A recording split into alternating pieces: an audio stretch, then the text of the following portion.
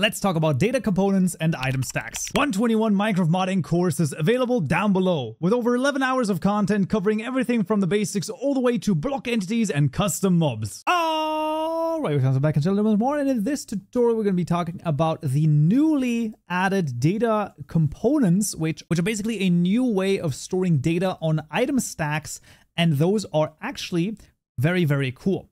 So we'll see this by what we're going to do is on our chisel item, every time we right click a block and actually change this, what I wanted to do is I want to save the coordinates of that particular block on the item stack, right on the chisel stack that we have, and then display it via the append hover text method. For this, we'll actually register a custom data component. It is super simple and you'll see. So in our tutorial mod package, we're going to right click new package called component. So for this, in our tutorial mod package, we're going to right click new package called component.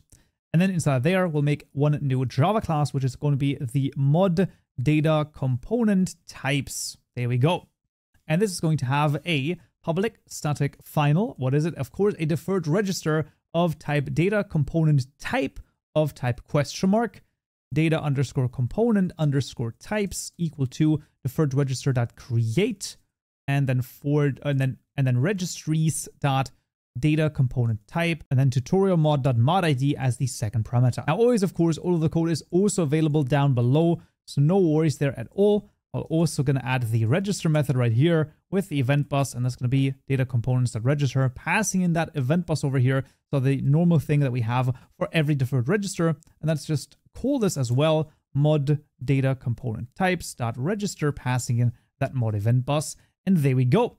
And then we need a register method, a helper method. So this is going to look quite, quite crazy. Once again, the code is available down below, so you might need it here because this is going to be a private static angled bracket uppercase T that's going to return a registry object of type data component type of type T. This is going to be the register method. No, this is going to be the register method passing in a string name parameter and then passing in a unary operator of type data component type, data component type dot builder of type T.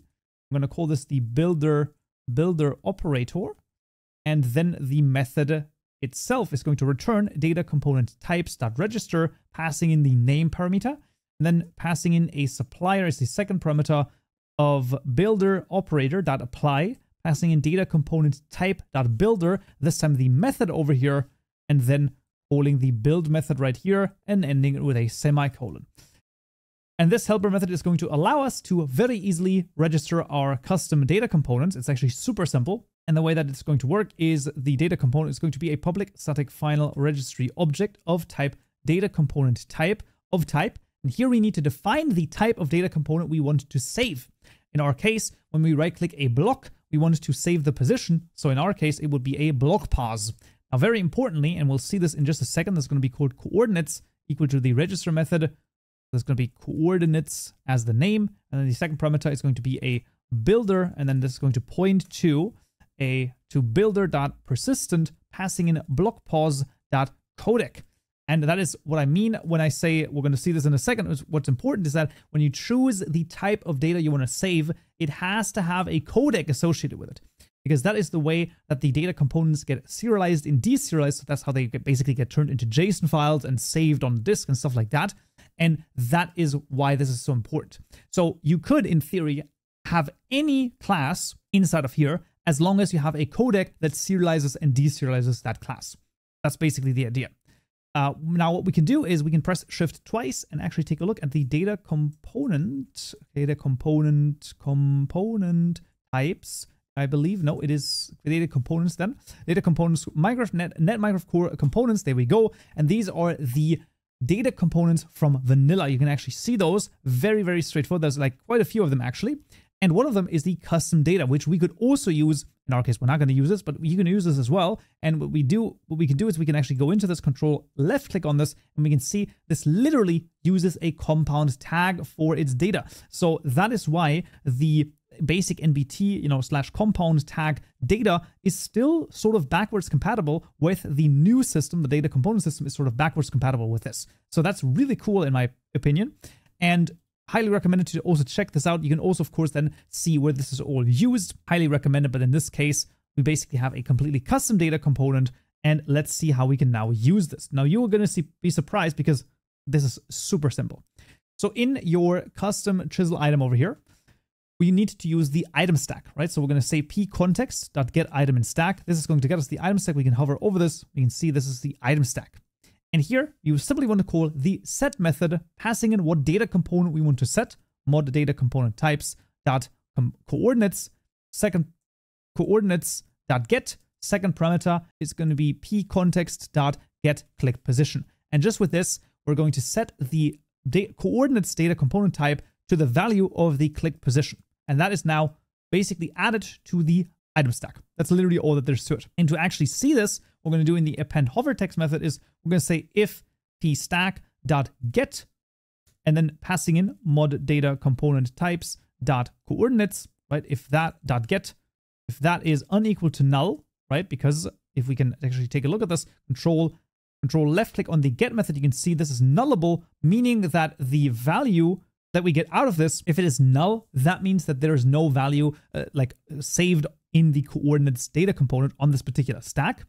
And if if there is something on there though, then I'm going to say p component tooltip components dot add component dot literal. I'm going to say last block changed at, and then we're going to say p stack dot get mod data component types dot coordinates dot get, and there we freaking go. And with this, we're now also getting the data, like the actual coordinates that were saved via this one, right? We're getting that when we hover over the item stack. Really freaking cool. In And you can, of course, in the set and the get method, use any type of components. So same with the data components from vanilla in theory, right? You can literally just like do that if you want to. Now you can also always see what is the type of data that you're going to get back. So that's pretty interesting. And if you want to reset the data, so basically you're like, I want to delete this, literally just pass in a null over here, not nil, but null. There you go. And that's going to be fine because we can look at the set method here as well. And we can see this is nullable, basically meaning that if you pass a null, then the data component is basically removed from that particular item stack. But with this done, that's literally all we need to do in this case. And I guess let's just jump into the game and see if it works. Alright friends, we're back in Minecraft and you can see we got some chisels over here. And if I right click with the second chisel, let's say, right, if I hover over this now, last block changed at minus 44, 65, minus 104 and if I were to take another one and right click on another, you can see those are completely different values because of course, right, this is a different item stack and we've clicked on a different block state. That's the whole idea and we can do the same thing with these, right, and what we can also do is I can then override the already existing data because, well, that's just the way that it works, right? We're just overriding the data that already exists there. So that is really freaking cool. That is, you know, one thing about sort of item stacks and similar type of thing that we had with the blocks and the block states. And now also custom data components, very cool system. And I think the new data components are actually really freaking cool. And, and that's basically data components explained. As always, of course, all of the code is available down below, but that's going to be it for this tutorial. Next time in this video, we're going to add custom tools to Minecraft Hope to see you there. So, yeah,